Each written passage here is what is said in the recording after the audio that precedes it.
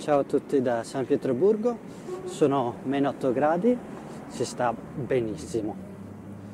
Eh, volevo parlarvi un attimo del, di una cosa che ho visto su Twitter, che è la notizia in pratica che il, il governo si sta effettivamente occupando del blockchain. Eh, cos'è la blockchain? Ve lo dico tra un attimo, ma diciamo che della blockchain ha parlato più volte Di Maio in varie trasmissioni televisive quando ho invitato dicendo che eh, sì, il governo investirà sulla, sulla blockchain, farà dei progetti basati sulla blockchain senza bene specificare cosa. Io l'ho sempre presa come una berlusconata, diciamo, eh, nel senso che non, pensavo fosse così, una, una parola molto, molto gonfiata, cioè lo è di fatto, eh, e che Di Maio lo utilizzasse così per, per farsi bello, ecco, per vedere che lui punta al progresso. Eh, in realtà questa blockchain, come dicevo, è una parola molto molto gonfiata. Il bitcoin è, scusate, è proprio una, una sciocchezza, vorrei dirla in termini fantoziani, ma eh, mi trattengo su, su questo.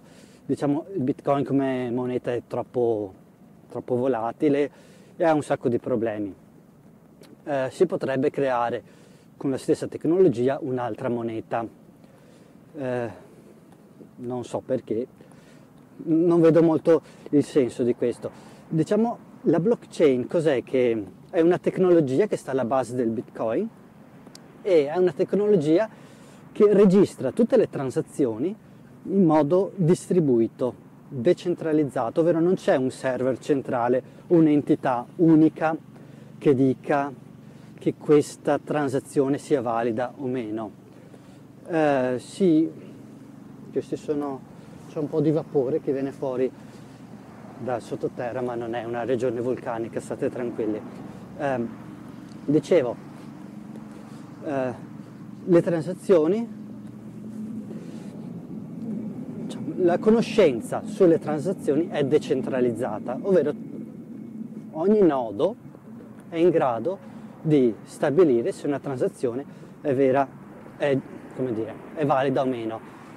E i nodi che decidono di, vabbè non voglio entrare troppo nel, nel tecnico, diciamo, è decentralizzato, ovvero non c'è un'entità unica che controlli tutte, ma i nodi che appartengono a questa rete della blockchain, i nodi sono, potete immaginarli come computer fisici di, delle persone, degli utenti che usano questa tecnologia.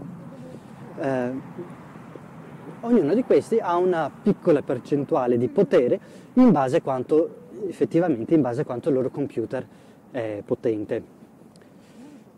Questa rete decentralizzata, come praticamente tutte le reti decentralizzate, ha un grosso problema che un'entità che riuscisse a controllare una buona parte, diciamo non necessariamente neanche più del 50%, diciamo se controlla più del 50% allora siamo proprio fritti, ma diciamo che controlla una buona percentuale della capacità computativa di questa rete è in grado di, eh, di manipolarla, di effettuare transazioni fasulle e in ultima istanza di eh, frodare o di rubare soldi se si tratta di bitcoin, se la tecnologia viene usata per altre cose eh, può, può inserire delle registrazioni non valide, fittizie, che fanno comodo a lui, che danneggiano tutti gli altri. Per carità si può anche studiare questa cosa, però io sinceramente non riesco a vederne alcun utilizzo da parte dello Stato, da parte di qualche azienda può essere che ci siano degli utilizzi, però diciamo il fatto che eh, sia così facilmente manipolabile da una grossa entità, eh, ecco, la rende secondo me inadatta a un uso da parte di qualsiasi, eh, diciamo, un uso a livello statale, a livello di nazione. Qualcuno potrà dirmi, beh, ma insomma, prima di controllare il 50% dei nodi, eh, insomma, è molto difficile. Sì, è molto difficile per me, però se pensate uh, in termini geopolitici, se abbiamo uh, l'Italia che decide di usare una certa, una certa criptovaluta o comunque sì, parliamo per esempio di una criptovaluta, ok?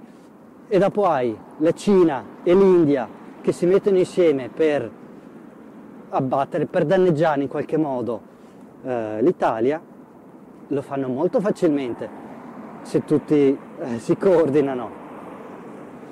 Uh, possiamo parlare di Cina e India, ma possiamo parlare anche di Unione Europea. Mettiamo che tutti gli altri paesi dell'Unione Europea uh, sono contrari a un certo utilizzo da parte dell'Italia di questa criptovaluta o comunque di questa tecnologia, eh, si può facilmente manipolare e di fatto far saltare in aria. Non lo so, io la vedo una cosa molto, molto pericolosa e quello che non mi piace soprattutto di questa, di questa iniziativa è che, um, almeno quello che ho visto su Twitter, è una persona che sembra essere coinvolta nella vendita, nello scambio di bitcoin, quindi eh, diciamo vedo un leggero conflitto di interessi. Vabbè, eh, vedremo come va a finire, spero che rimanga solo una trovata propagandistica, eh, però stiamo un po' attenti. Ciao, buona giornata a tutti.